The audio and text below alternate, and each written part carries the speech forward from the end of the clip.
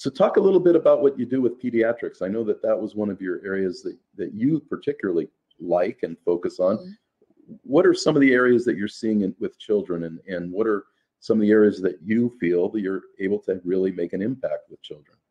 Mm-hmm. Some of the things that I noticed, well, is is really the exposure to and it goes back to environmental medicine. That's also one of my passions. Okay, so you'll have to excuse me, but no. um, a lot of the the exposure to not only heavy metals really, but more specifically like plastics are concerning um, because it causes endocrine disruption. So we're seeing a lot of children who are developing type 2 diabetes at the age of eight, or a lot of girls mm. who mm. are starting their menstruation at the age of eight. Wow. And and that's significantly earlier than it was 20 years ago. Whereas the average start of menses was maybe 12, 13.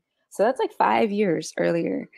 And, you know, I'm sure there's other causes uh, as well as the hormones in beef children are eating. So, and, but also the plastics, really, it's like a lot of plastics that we eat. Anyways, um,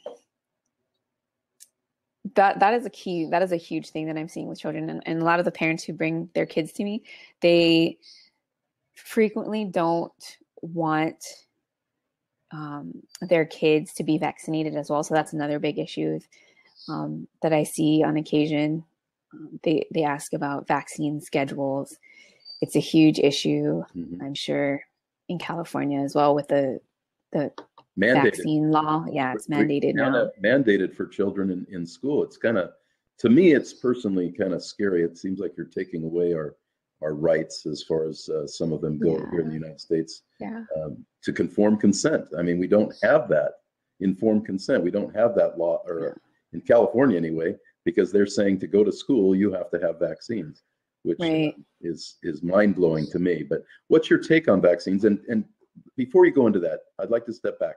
Young children that come in that are having some of these early onset uh, normal body functions, but they're so much earlier. Is there anything that you can do to help them, or is that just something that they're too far gone at that point already at eight years old? That's scary.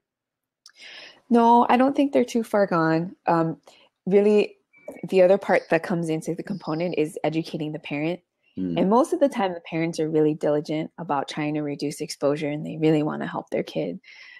Um, the other part to trying to help these children with their hormones and their endocrine, other than cleaning up the diet and trying to clean up um, their their exposures, is also trying to boost like their immune systems. Mm-hmm. Um, basically, what I what I try to do is give them the minimum um, amount that they need to take, but to have the maximum impact.